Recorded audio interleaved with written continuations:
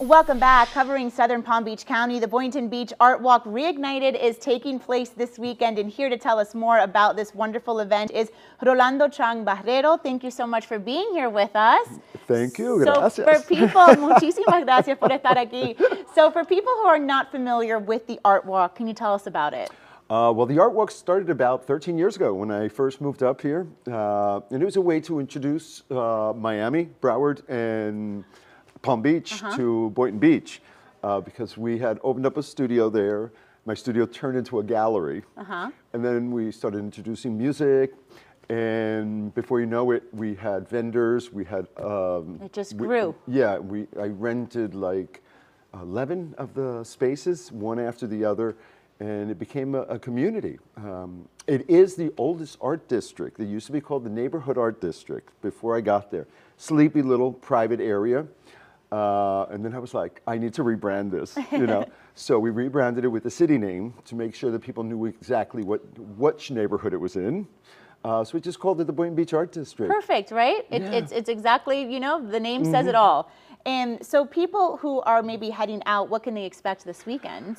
Everything from lowriders, custom motorcycles. We have a, a antique thing from Volkswagen. Uh, we have a live DJ with a light show at night.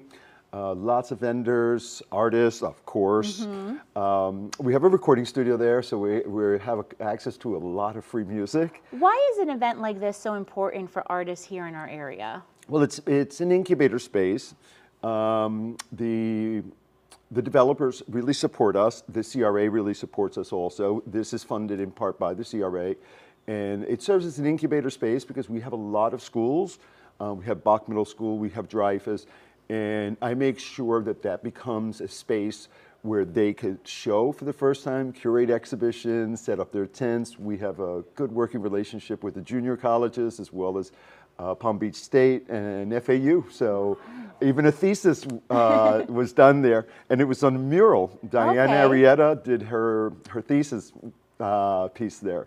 So speaking about murals, you guys are looking for mural artists. Yes. Okay. So we wanted to decorate because I, I came from Miami, and I was like, "There's no mural project in Palm Beach County." So I started the first outdoor art exhibition, which is a uh, the murals project. It's called Activista Artista Bay Gates Project, and we selected our winner for this uh, coming art walk, and her name is Go ahead, you have a special announcement Kelsey here to make. McQuaid, and we're not going to show an image of it because we want it to be a surprise. She'll be painting live this Saturday, May 20th. Okay, I feel like I interrupted you a little bit there. You want to say her name one more time? Kelsey McQuaid. Kelsey McCrade. All right, well, congratulations to you. And if you want to go and check out Kelsey doing her live painting or any of the wonderful artists here in our mm-hmm. area, you can head out to the Boynton Beach Art Walk Reignited. It is this Saturday, May 20th from 6 to 10 p.m. All this information that we just spoke about here is on our website, WPBF.com. Just